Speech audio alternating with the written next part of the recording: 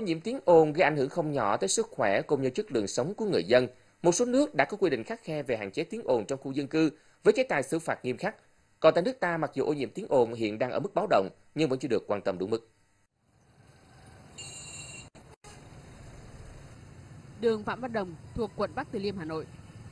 Âm thanh xe chạy rầm rập, tiếng còi inh ỏi. Đây là tuyến đường vành đai có lưu lượng xe cộ qua lại đông, trọng tải lớn khiến cho những tiếng ồn như thế này kéo dài từ sáng đến đêm. Thỉnh thoảng à, nghe thấy tiếng bíp còi của tiếng ô tô thì là con giật mình lại tỉnh dậy. Đêm đến xe ba chân mà chạy ẩm mỹ hết cả. Đấy, là tỉnh tỉnh lúc nào là thôi là mất ngủ lúc bây giờ.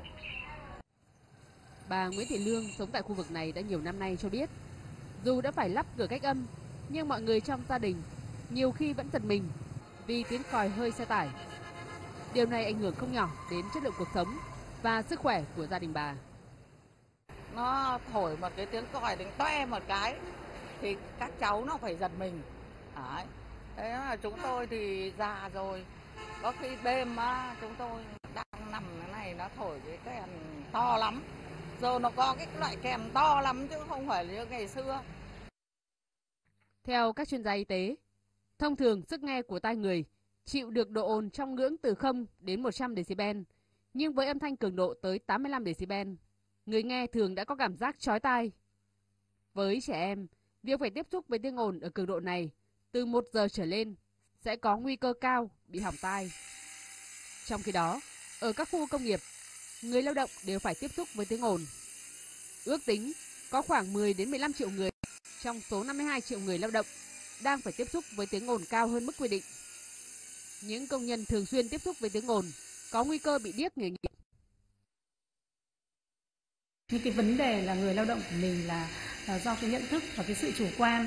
Bởi vì các bạn biết là cái ảnh hưởng của tiếng ồn đến uh, sức nghe thì cái đoạn đầu ấy, thì là thường ảnh hưởng những cái tần số cao và những tần số giao tiếp thì chưa giảm.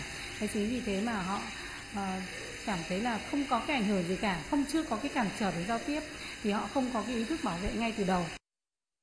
Ô nhiễm tiếng ồn là nguyên nhân gây hưởng đến sức khỏe lớn thứ hai sau bụi. Tiếng ồn không tích lũy trong môi trường như ô nhiễm các chất độc, nhưng tác động vào con người và có thể để lại hậu quả lâu dài cho sức khỏe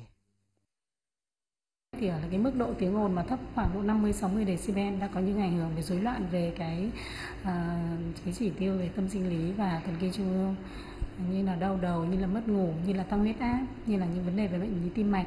Với những cái tiếng ồn cao à, và kéo dài thì là gây ảnh hưởng đến sức nghe.